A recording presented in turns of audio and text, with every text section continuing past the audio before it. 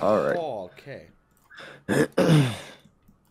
Let me go to that for you. So this is, um, yes, that is Q50.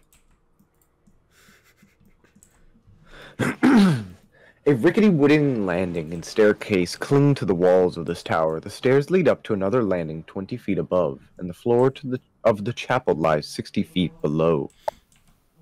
As you walk out onto the landing, it shudders underfoot. It also creaks slightly as well, but beholding, at least for now.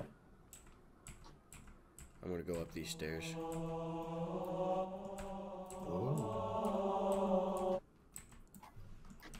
Hmm. I uh, Yeah. don't appear to need this anymore. what the fuck am I looking at? Creaky stairs climb to a wooden landing with three windows that look out over the roof of the mansion. Flanking the windows are two narrow wooden doors. I don't think that's actually supposed to be glowing. I think it's just like that for visuals, maybe. Let me check the if I can find the right fucking area. I'm guessing this is supposed to be it. It doesn't have the map sucks ass. Where is this area? Oh, there it is. I think.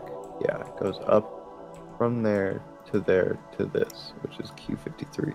All right, wooden stairs climb to the tower's peak, which has oh, stone a stone floor and a 30 foot high. multiverse. I swallow the self-preserving fallacious doctrine that I am a decent person, but I am simply a lizard-brain beast with a frontal cortex. And while I could let someone glance inside for a moment, no one will ever truly know me, and I will never know them. This I don't think is supposed to be glowing.